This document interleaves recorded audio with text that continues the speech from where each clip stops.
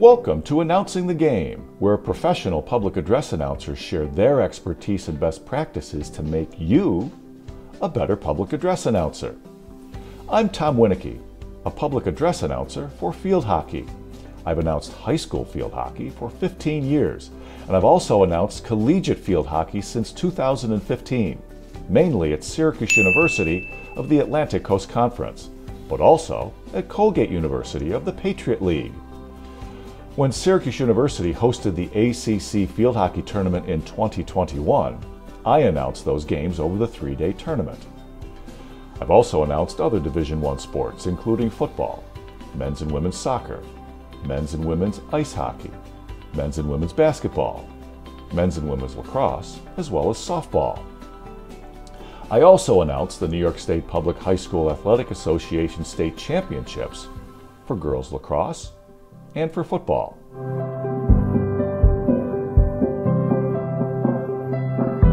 In this episode of Announcing the Game, I'm going to talk to you about field hockey. Now, most of this will refer to the collegiate game, but much of what I have to say you can relate directly to the high school game. I'll be talking about getting yourself ready before even getting to the game site, what to take care of once you get there before the game starts, what to say during the game, including understanding some basic rules, and then how to wrap up each game.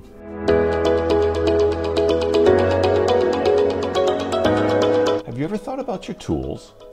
You know, what you bring to each game. Now, of course, there are rosters and spreadsheets. I'll talk more about those in a minute. But what about the other things you need?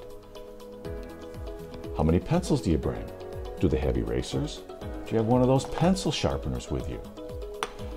Do you use pens? What about different color pens? Maybe one of those pens that has four different colors in one pen. Highlighters? Do you highlight the starters for the starting lineups? Do you need different colors? What if you're outside of the press box and it's a windy day? Do you have a roll of tape to tape things down with? What if it's raining? Do you have a plastic bag big enough to cover your clipboard when you use it to go look for starting lineups? What if you're up in a press box? Can you see the numbers on the uniforms on the far side of the field? Look to invest in a good set of binoculars for that one. What about batteries? Have you ever announced a game with a wireless mic and the batteries went dead on you? Are you prepared with some double A's and 9 volts, just in case? What about a small extension cord? Do you have a spare audio cable? I have a playlist on my phone when I announced high school games, and I also did the music. I'm ready just in case that site can't access their music. Are you prepared? Just in case? What about emergency scripts? Do you have a set of those for any situation you can come up with? Now, the chances of needing some of these things are pretty small, but I don't like to run the risk of needing something and then finding out that I don't have it. Do you have something to drink during the game? Water's always good. Me, I like hot lemon echinacea tea, as hot as I can stand it. Stay away from things with caffeine or sugar in it. That can only cause phlegm to build up in your throat. Lozenges? Look for those whose first ingredient is pectin. Stay away from those whose first ingredient is menthol. That'll just dry out your throat.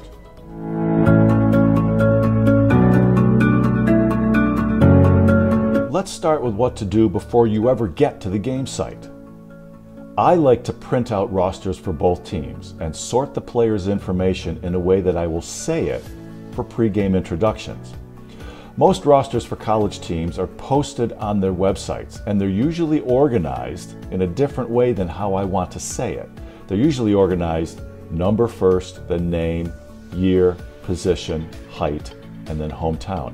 And that would be awkward to read. You would have to say something like, Number 12, Molly Nager, a senior forward who's 5 foot 4 from Boston, Massachusetts. That doesn't sound right. So what I do is I copy and paste each roster into a spreadsheet. Then I resort the columns so the lines horizontally are for the players and they're organized in a way that I will say it for introductions. I'll resort them to read as position, height, year in school, hometown, number, name. Then it reads Starting at forward, a 5 foot forward senior from East Syracuse, New York, number 12, Emily Langen. Now, it's a bit of work on my part initially, but I found that on game day, with everything else that's going on, this makes it easy just to read from left to right across the page instead of having to jump around from column to column if I just print off the roster from their website. Now you can see here is an example of a field hockey roster that I've sorted in the way that I would say it for pregame introductions. Position, height, grade in school, hometown, number, and name. And you can see some of the overseas hometowns that I've looked up and had them spelled out phonetically. This just makes it easier on game day just to read across the lines. Then I create a sheet for individual goals scored. I list each player on both teams numerically with a blank space next to each name. In that space, I look up how many goals that player has that season. I do this on the team's website, and there's always a link that says statistics. That allows me to say something like, Syracuse goal, her first of the afternoon and fourth of the season, scored by number five, Emily Langen. With the assist to number three, Molly Nager. That's Langen. From Nager. Time of the goal, 645 of the first period. I just feel this adds a little more professionalism to my announcements, as well as giving a player credit not only for that goal that day, but for all the goals they've scored that season. Now, I also have a sheet that I'll use to keep track of substitutions and any penalties and when they expire. Penalties are in the form of a card. A green card is two minutes, yellow card is five minutes, and a red card expels that player from the remainder of that game. Now, I keep track because many scoreboards don't have the ability to show penalty time. I announce who got the card and how long it's for, and then I'll announce when on the clock the penalty will expire. For example, Syracuse green card at number 12, Lori Valentine. Two minutes for the green card. That green card will expire at 5:43. Now, even if that scoreboard can show penalty time, I still want to announce when the penalty is released. This just helps teams and fans stay more informed. Now, one thing to remember penalties do not get released if a goal is scored. The player serves the entire time on their card here is an example of the stat sheet that I'll use to keep track of goals scored and that I can announce during the game. I've circled the number of goals that the individual player has coming into the game and then wrote potential numbers afterwards. So if number five, Emily Langen, gets a goal, I cross off number four and announce it as her first of the afternoon and fourth of the season. Then next to it, I have a sheet where I can keep track of penalty cards, for both teams, goals and assists, and the time of each goal for both teams, and substitutions during the game. As you said, they come pretty quickly, so it's good to write them down, and it's easier to keep track of them, I feel, this way.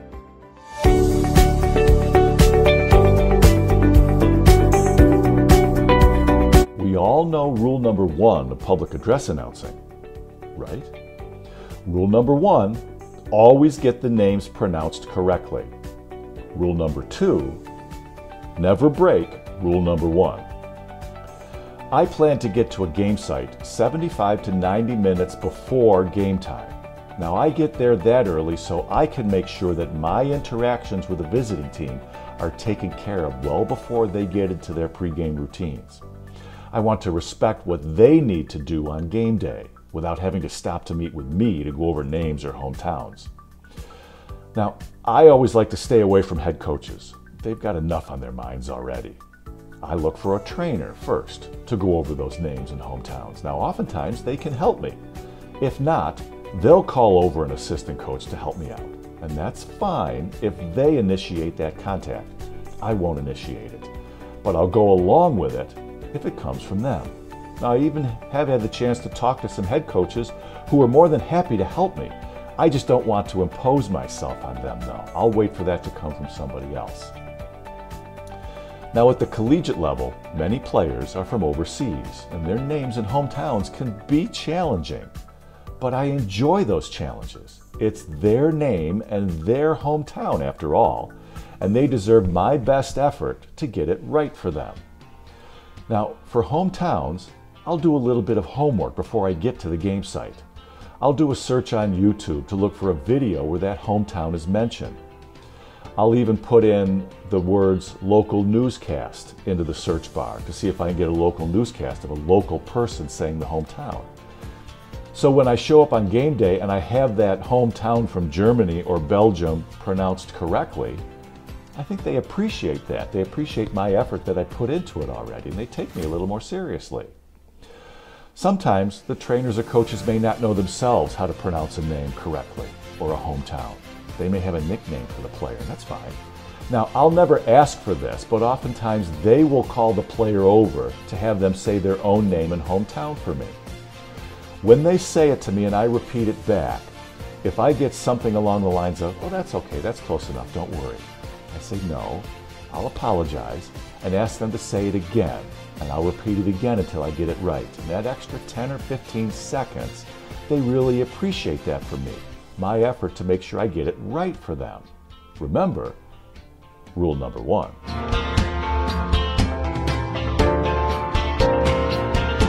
Now, when working with marketing and music during the game, everything is probably already on a script.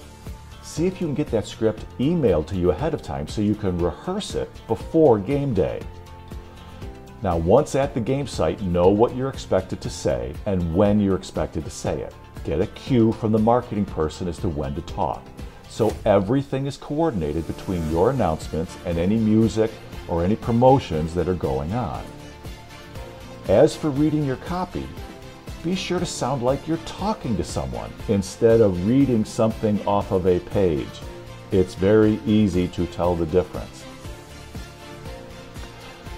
Now, for example, announcing the national anthem is done very differently than starting lineups, and a halftime on-field contest is announced much differently than one about emergency exits. For the national anthem, for example, I have a set script that I like to use that I've received a lot of positive feedback about. I start by saying, Ladies and gentlemen, we now ask that if you are able to please rise and please remove your caps. I do that because every facility has handicap seating. I've even gotten some teary comments from people whose spouse or child is handicapped and at the game. They appreciate being included in this portion of the game. Then I continue by saying, as you face our flag with your right hand over your heart, to honor America with the playing of our national anthem. Now, I've had veterans come up to me and say how much they appreciate the part about facing the flag and placing your hand over your heart. Now, seeing who all these comments come from, I take them all very seriously. Now, your marketing staff may have something completely different that they want read for the national anthem, and that's fine. Go with what they have. I just like to be prepared in case they don't. Now, this all goes back to your preparation and rehearsing. I have an app on my phone that I can record my own voice. I use it to record myself reading different types of copy. Now, when I play it back, I want to see if I sound the way I want to for each style of read.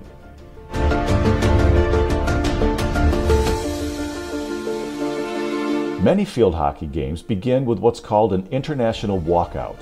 Both teams line up on their sidelines in front of their bench, and the official leads both lines out onto the field up the midline. When they get to midfield, the lines split off and walk toward their goal until both teams are facing the crowd. And that's when you begin any welcome reads that you were given. Now, what I've discovered is I want to end my welcome to the site copy just as both teams are completely lined up at midfield. If I start reading as they begin to walk out with the officials, I would finish well before they finish lining up. Now, that 10 to 15 seconds of dead air seems to last forever. So I asked marketing, is it okay if I wait for the teams to get going part way before I start reading my copy? You see, I want to finish my copy just as they finish their walkout.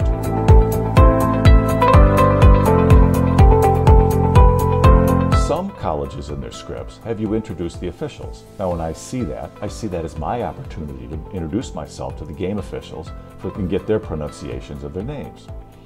At the high school level, I would also use this as my opportunity to say that if I see a signal for each foul, I will announce what the call was. And if there's time before a restart of play, to also announce a short explanation of the call. For example, stick obstruction on the Hornets, using your stick to prevent your opponents from playing the ball. Now, I will also tell officials that I will not talk over the game. If I see that the game restarts too quickly for me to explain the call, then I won't say that. I feel it's important for me to tell the officials that I respect their jobs and I don't ever want to step on the game just to make an announcement.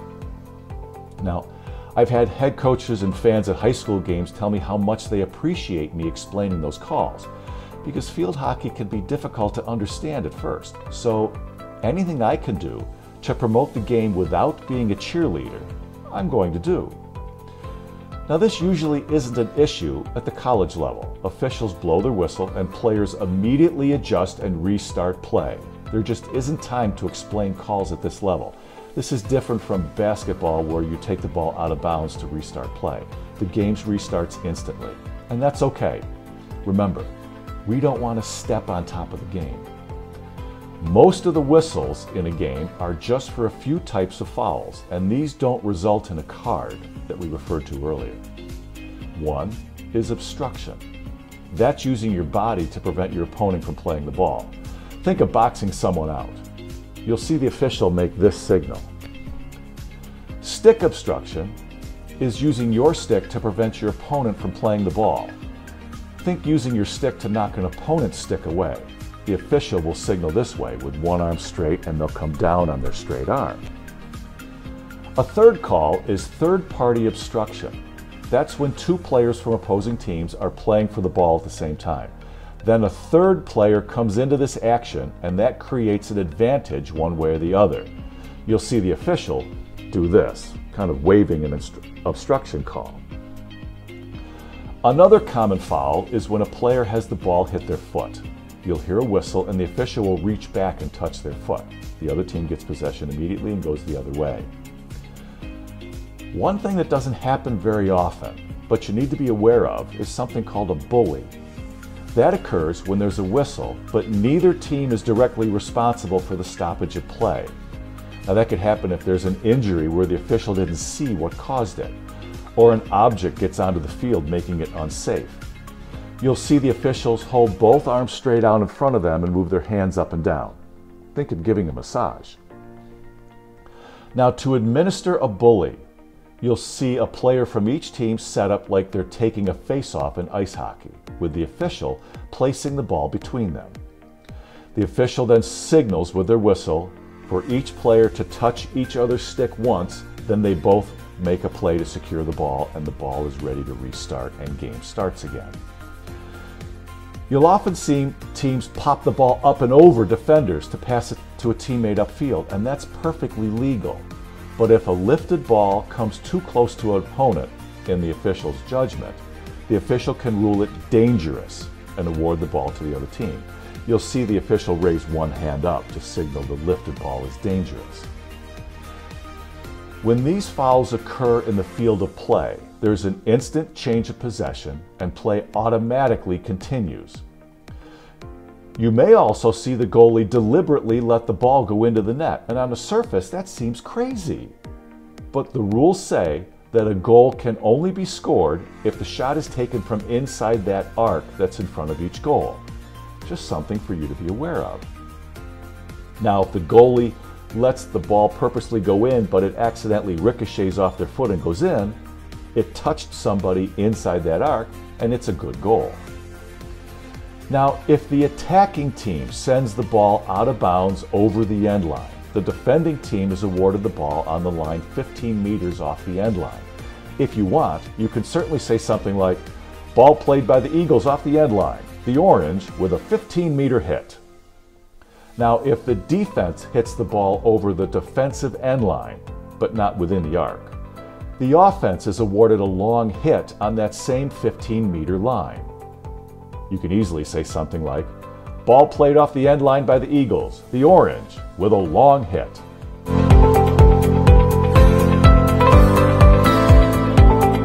If the defending team plays the ball out of bounds off the end line, but it's done so inside that arc, it's a penalty corner. If the defending team commits one of those fouls that I mentioned earlier, inside that arc, it's also a penalty corner. You'll see the official point with both arms to one corner.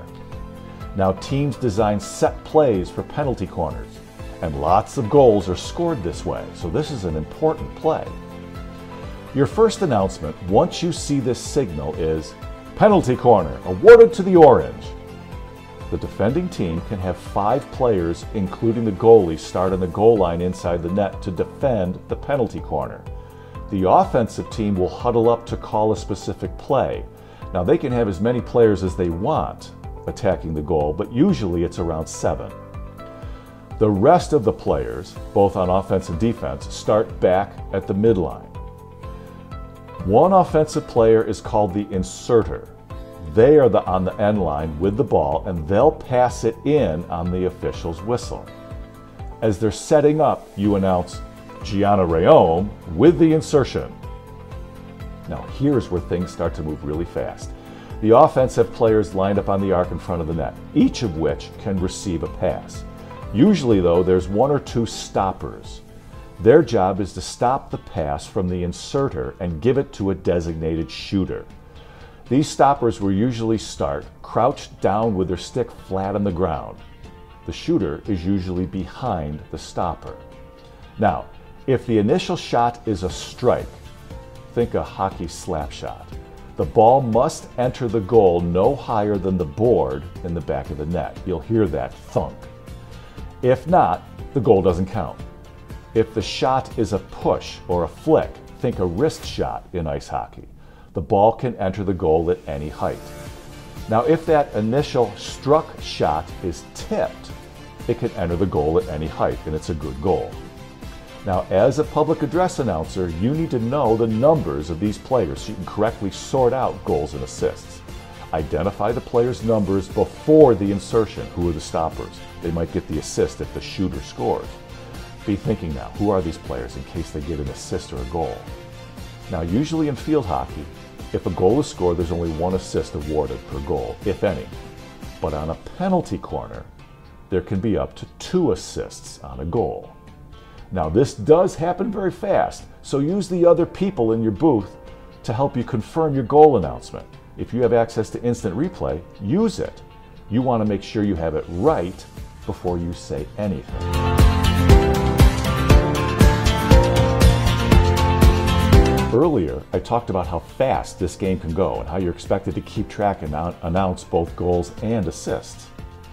In more instances than just a penalty corner, a skill that you'll need to develop is to learn to watch the attacking team and to see where individual players set up on the field. Start to look for the players without the ball, who looks like they could be ready to get a pass to shoot. If the ball's at the top of the arc, who looks like they're setting up next to the cage for a possible tip in? If someone shoots, who looks like they're getting in position for a rebound to score. Teach yourself to look at more than just who has the ball. Now, when played well, the ball moves at lightning speeds, and you need to be ready to see both who has it and who may get it next. As I said before, don't hesitate to use video replay. If it's there, use it because you want to get it right the first time.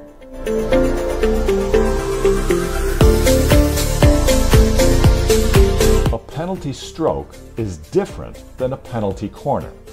That is when, the, in the official's judgment, a defender commits an intentional foul to prevent a goal from being scored. Now, that includes the goalkeeper laying on top of the ball. The goalkeeper cannot freeze action this way like you can in ice hockey. You'll see the official raise one hand and point to the ground and to the goal with their other hand. Now, the goalie in a penalty stroke must stand on the goal line while the shooter has the ball on a dot in front of the goal. The goalie cannot move until the ball is played. Action begins on the whistle, and the shooter can only push the shot to try to score.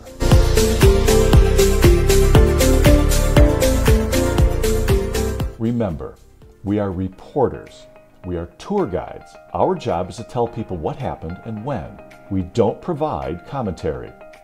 Unless there's a goal, a card, a penalty corner, or a penalty stroke, there isn't much to say, and that's perfectly all right.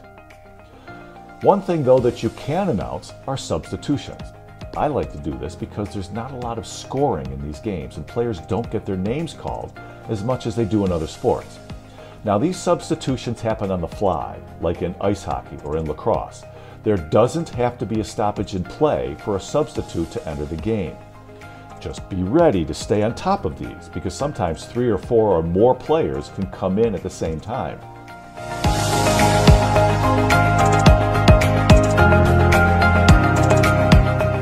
A video referral is used for the big decisions in the circle, usually around goal scoring opportunities or penalty situations. You'll see the official signal as if they're outlining a television set. Now, on field officials can call as many referrals as they think they need during a game. Teams, though, are restricted to one referral per game, which they get to retain if their video referral comes back correct. If the video review goes against them, they lose the ability to call any more in that game. Now, obviously, if your facility doesn't have this capability, it won't be used. But if it does, you need to be ready to work with this. Some facilities have the ability to put a microphone at the scores table so the official themselves can announce what they're looking for and what the result of the review is. If that's the case, you don't say anything. If not, you need to connect with the table before the game to be sure that they radio up to you what they're looking for and what the result is. Now, again, this goes back to your role as a reporter, as a tour guide, to tell the crowd what's going on. Now be sure though, not to announce the result of this video referral until both coaches have been notified. Keep an eye on the officials to make sure you see them tell both coaches the result before you announce anything to the crowd.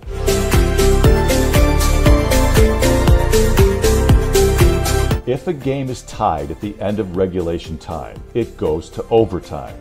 In overtime, it's played seven on seven, one of which is a goalkeeper. There are two 10 minute sudden victory periods. So once a goal is scored, the game is over. Now, if the game is still tied after these two sudden victory overtime periods, then it goes to a shootout. Each team picks five players for the shootout, and it's in a best of five format. The goalie starts on the goal line, and the shooter starts in the 23 meter area just outside the arc. On the official's whistle, the shooter has eight seconds on the scoreboard to score. Now, unlike a stroke, the player may play the ball off of a rebound. Now, the shootout continues and it is completed until one of the following happens. Either eight seconds is elapsed and no goal. The attacker scores a goal the attacker commits a foul. The goalkeeper commits a foul in which the shootout is retaken. The goalkeeper commits an intentional offense in which a penalty stroke is awarded. We talked about those a few minutes ago. If the ball goes out of play over the back line or the sideline, and this includes the goaltender intentionally playing the ball over the line. If a penalty stroke is awarded because the goaltender committed an intentional foul, that stroke is taken and is taken by the two players involved in the shootout, unless either is incapacitated or suspended as a result. The penalty stroke will take place before the next available shootout takes place, and all the normal penalty stroke rules apply.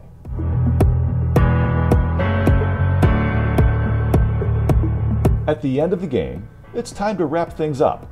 Begin by announcing the final score one more time. Then go on to thank the fans for attending their game and for the, their support of the team. You can then go on to say when their next game is. Now, if it's an away contest, be sure to tell everyone how they can tune in. That could be on the radio, television, or live stats on the school's website. Either way, you want your fans to stay connected to the team when they're on the road, not just when they're home. Then you can announce their next home game their date and time so they all know when they can come back and cheer again. Now, I like to finish by doing something as simple as inviting them to buckle up and to enjoy a safe trip home. And when I announce for Syracuse University, I finish by saying, and wherever you go, go Orange! Or if it's a Colgate game, and wherever you go, go Gate!